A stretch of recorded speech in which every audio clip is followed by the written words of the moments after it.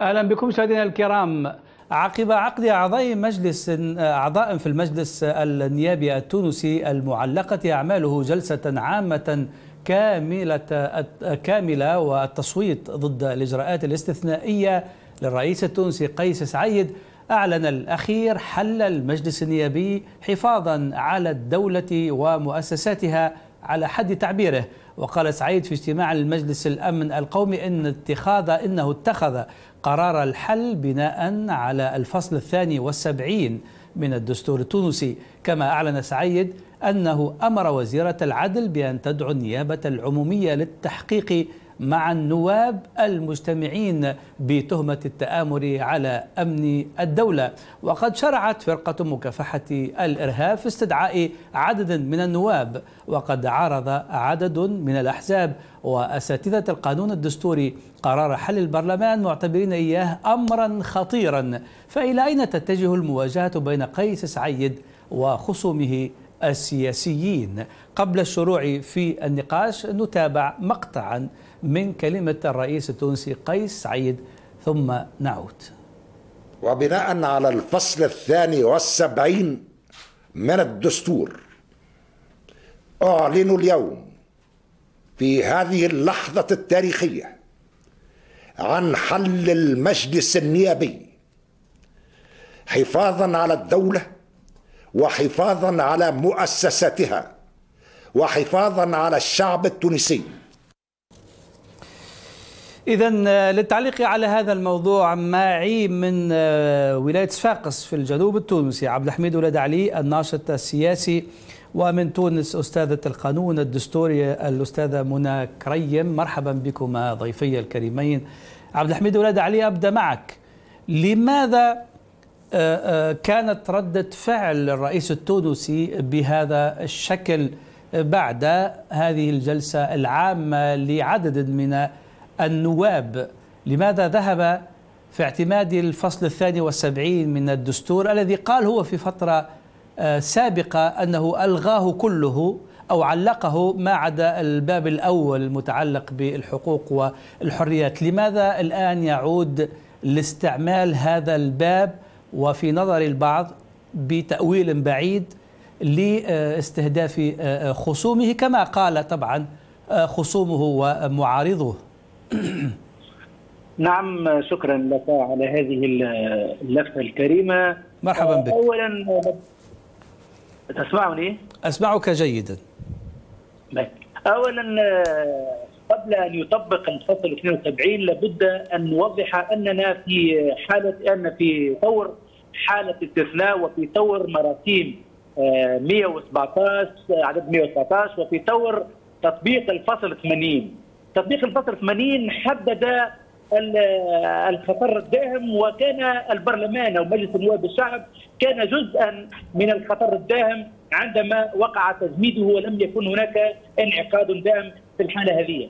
هنا ما المطالب به رئيس الجمهورية إذا تطور الخطر الداهم حتى أصبح جريمة تآمر وتكوين وفاق إجرامي وتآمر على أمن الدولة. ما ما الحل؟ سكت عنهم كثيرا وطلبه الشعب بأن يحل البرلمان وليس هناك أي فصل يمكن له أن يحل به البرلمان وإلى حد هذه الساعة ليس هناك فصل قانوني أو دستوري يمكن به حل البرلمان ولكن عندما تبلغ درجة الإجرام إلى حالة التآمر على امن الدولة هناك مجلس الأمن القومي بالشراكة مع رئاسة الجمهورية وطبقا للفصل 72 حدد حددوا معنا طبيعة القرار الذي كان يحل البرلمان. طيب أبقى معي أعود إليك عبد الحميد بعد قليل أستاذة منى كريم مرحبا بك مرة أخرى.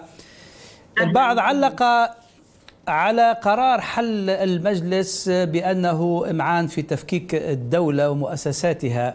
يعني على عكس ما يقوله قيس سعيد لكن خليني في الموضوع القانوني تحديدا هل يمكن للرئيس التونسي الاعتماد قانونيا ودستوريا على الفصل 72 كما قال هو وحل البرلمان بعد أن كان قبل علق جميع فصول الدستور وقبل يومين كان يتحدث على أنه لا الدستور لا يبيح له حل البرلمان ولذلك لم يحله لماذا أقدم على هذه الخطوة وتحت أي مبرر قانوني أو دستوري؟ إن كان هناك مبرر طبعا قانون دستوري.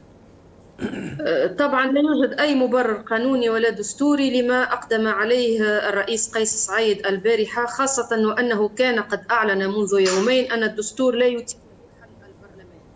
يعني أنه من الناحية القانونية والدستورية ليس أي فصل في الدستور يسمح لقيس سعيد بحل البرلمان إلا في فرضية وحيدة وهي أن الحكومة لا تتحصل على تصويت لصالحها من طرف البرلمان. في هذه الحالة يحق له حل البرلمان وتنظيم انتخابات تشريعية سابقة لأوانها.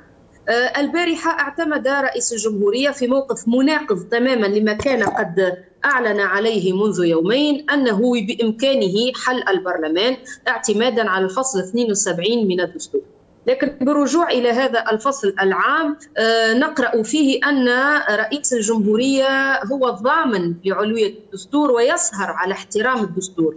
فكيف له أن يسهر على احترام الدستور؟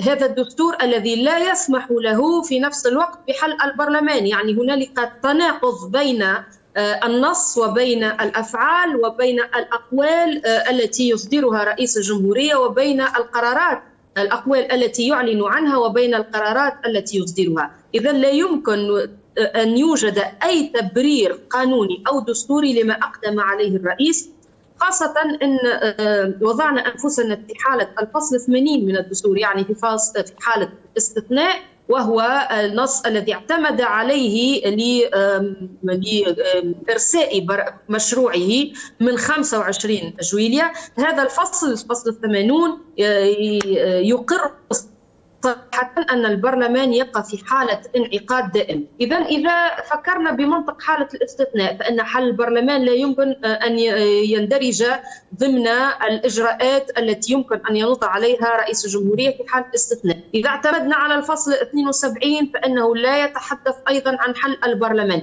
إذا ما أقدم عليه البارحة رئيس الجمهورية خارج عن إطار الدستور وأنا طلبت منه البارحة في تدوين على صفحتي أن لا يذكر هذا الدستور فيما سيقدم عليه مستقبلا لأنه لا شيء في النص المكتوب في في دستور 2014 الذي كان قد علقه في 22 سبتمبر 2021 نعم. ما يبرر المراسيم التي أصدرها أو الأوامر أو أو حل مجلس النواب الشعب.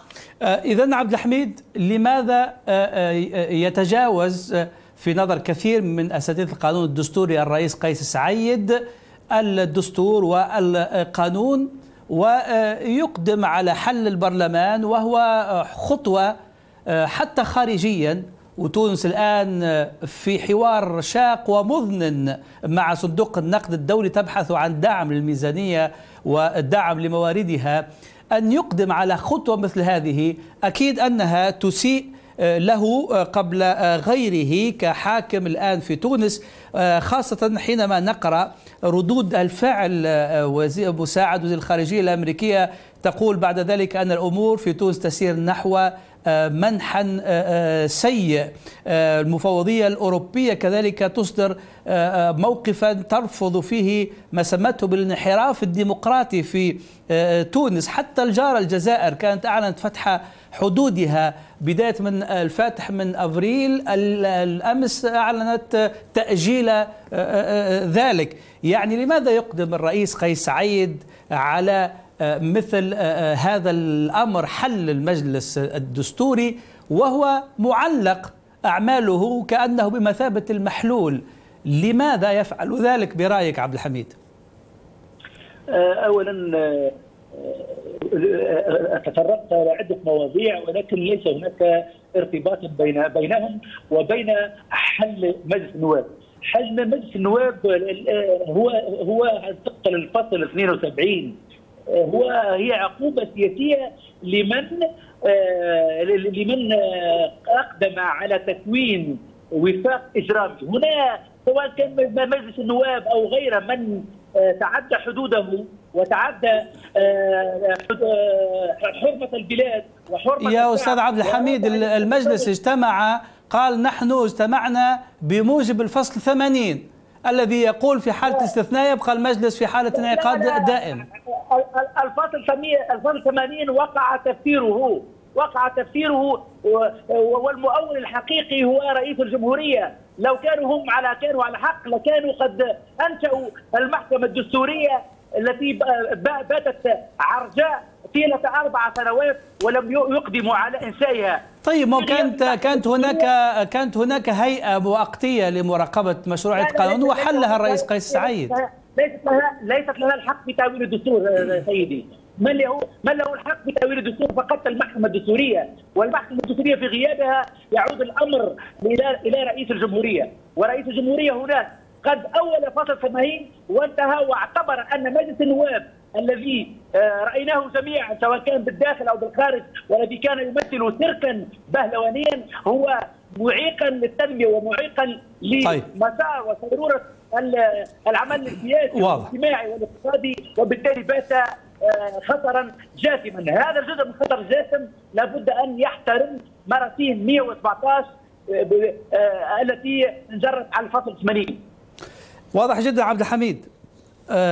أستاذ عبد الحميد أولاد علي الناشط السياسي كنت معي من صفاق شكرا جزيلا لك. بارك الله فيك. أختم معك دكتورة أستاذة منى.